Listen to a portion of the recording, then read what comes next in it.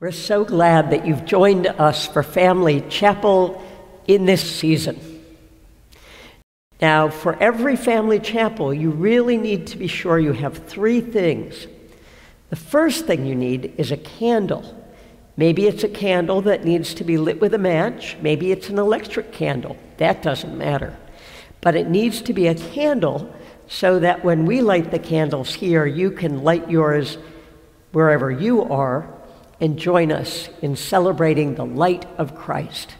The other thing we need you to have is your singing voice, because there will be singing, and we want you to be singing right along with us.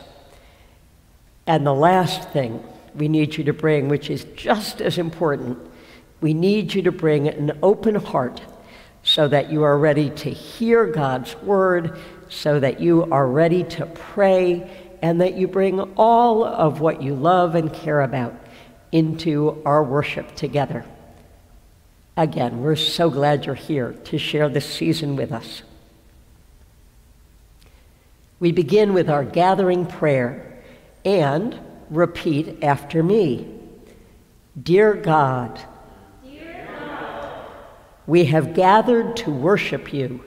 we have gathered to worship you. We have come to thank you to thank you for loving us. for loving us. Amen. As we light the candles, we give thanks for the great light of the world, your Son, Jesus. May our lives be a light to others. Amen.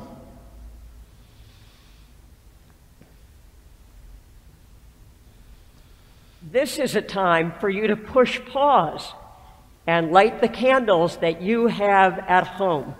And remember that Jesus is the light of the world.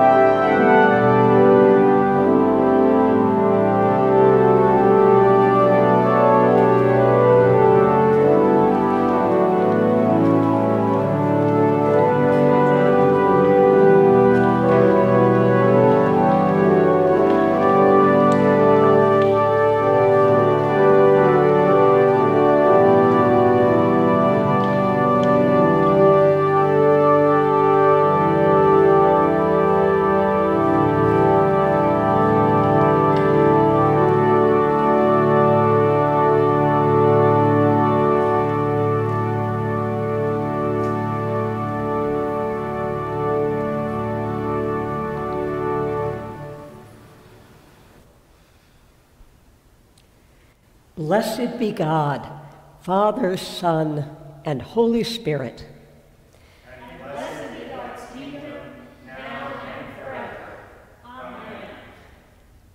God of new beginnings, in the waters of baptism we receive your Holy Spirit and become one with Jesus. Help us to live as children of God, filled with your heavenly love, so that all the people and creatures of earth may live happily as one family.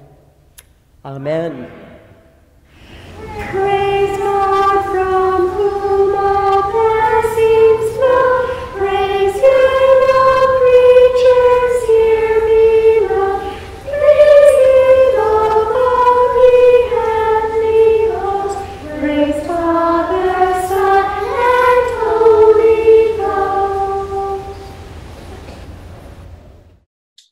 Holy Gospel of our Lord Jesus Christ according to John.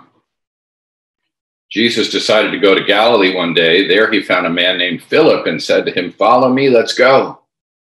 Philip was from Andrew and Peter's hometown. Then Philip found Nathanael and said, We have found the Messiah, the one Moses and the prophets wrote about. His name is Jesus, and he's from Nazareth. Nathanael said, Nazareth? You're kidding.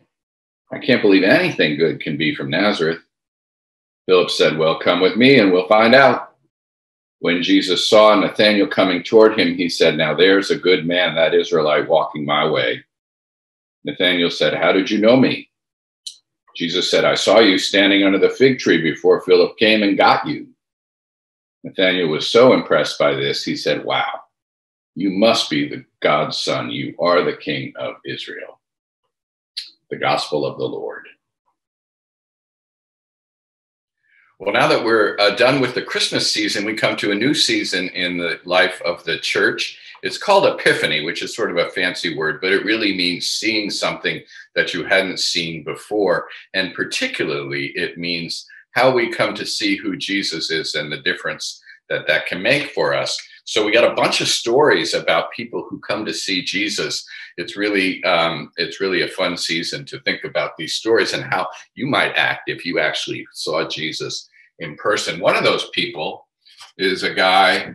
Um, we don't really know what he looked like, but this is what we're going to say he looked like. One of those guys was a guy named Philip. I wonder if you know anybody named Philip, but Philip was one of Jesus' disciples. And he met Jesus. What does he need? He needs feet. Okay.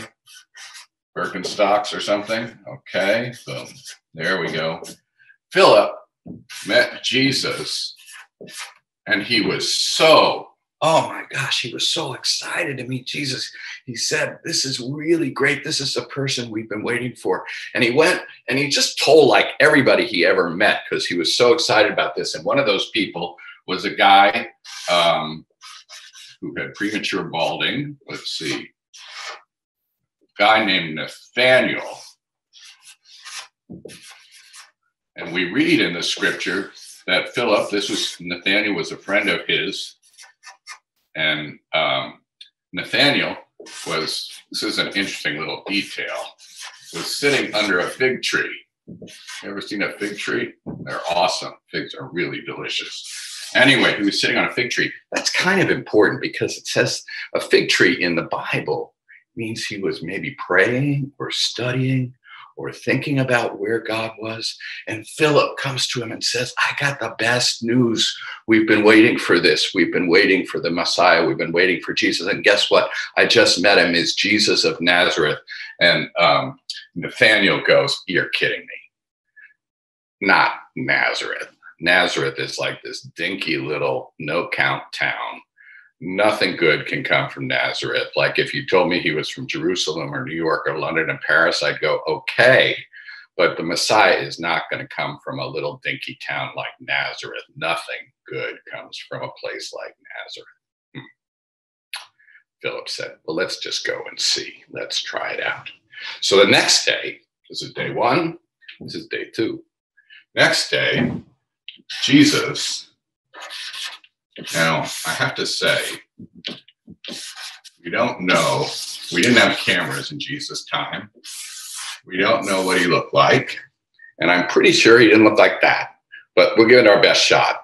Jesus was walking around Galilee, which is uh, where he lived, and he was beginning to teach people and stuff.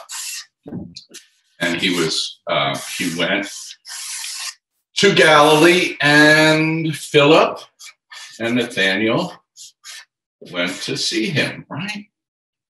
And we have, let's see if we can draw uh, Nathaniel again. Nathaniel come walking down the road, and Jesus sees him, and he says, Hey, I know you. I saw you. You're the one who uh, Philip was talking about. I saw you under that fig tree. This is the first time Nathaniel had ever met Jesus. And he goes, How on earth did you know who I am? Jesus says, I'm telling you. I saw you under that fig tree. I know who you are. And I think you're a good guy. And I think even though you asked how anything good can come from Nazareth, I think that showed you were taking this really seriously. And you know what Nathaniel said?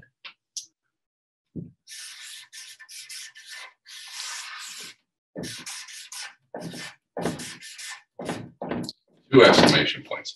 Wow. He said, You are the Messiah. You are the one we've been waiting for. And uh, Nathaniel became one of the people who followed Jesus, who came and, and went with him and stayed with him and studied with him and learned from him and shared his good news. So, a couple of things about this story. One is that thing about Nazareth. Like, we should never, ever think that some place is too small or too tiny or too out of the loop for God to work. God can work through anybody, through old people, young people, through rich people, through poor people, through people who live in fancy houses, through people who live on the street. There's no limits to who God, how God can work. And the other thing is, we could all be a little bit like this guy, Philip. Because if we have had some sense of Jesus in our life, if we have some sense of God's love for us, share that with other people. We can share that with the ways we talk and the words we say. We can also share it with the things we do, the ways we care for each other. So we're going to hear a lot of stories in the next couple weeks about epiphanies, about people who come to see Jesus. Remember this one? Remember uh, Nathaniel who says, "Wow," and think about how you can come to see Jesus in your own life. Amen. Now let's say our creed together. Repeat after me. I believe in God's love. I believe in God's love. I believe in Jesus' love. I believe in Jesus' love. And the Holy Spirit, too, And the Holy Spirit, too, tells me what I ought to do. tells me what I ought to do. So now it's time to bring all our prayers to God. Let us pray. God, thank you for the whole wide world. Lord, in your mercy,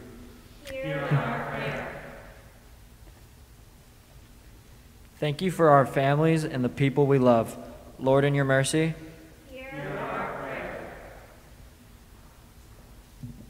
Thank you for the city we live in and the church we go to. Lord, in your mercy. Please keep our world and our families safe. Lord, in your mercy. Please take care of the people who are sick or scared or sad. Lord, in your mercy. Please stay with us as we grow. Lord, in your mercy. For what else should we pray? This would be just the right time to press pause as you're watching this and pray for those things that you really want, those things that you really need, those things that you really hope for.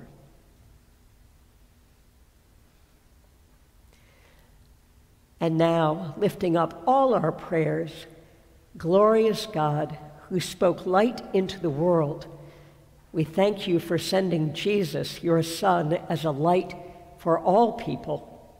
Help us to find the light within ourselves and one another so that we might rise like the sun and shine your love in all places. Amen.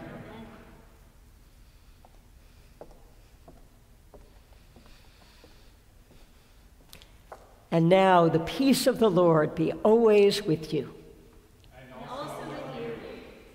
Now, we can't hug one another or even shake hands, but you can stop this recording right now and you can do all those things at home to share the peace with everyone you love.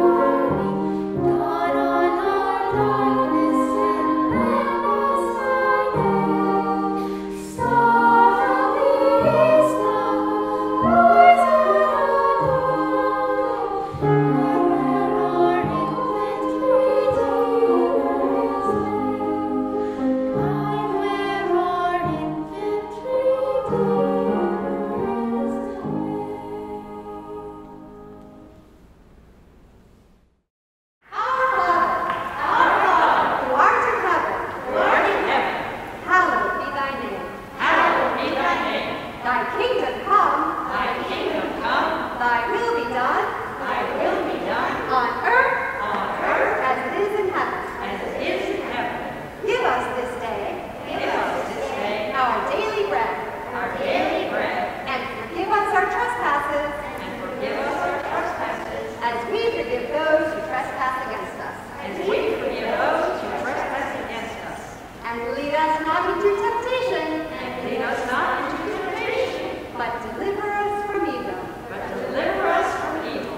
For thine is the kingdom, For thine is the kingdom, and the power, and the power, and the glory, and the glory, forever and ever. forever and ever. Amen. Amen. May Christ, the Son of God, be manifest in you, that your lives may be a light to the world, and the blessing of God Almighty, the Father, the Son, and the Holy Spirit be with you always. Let us bless the Lord.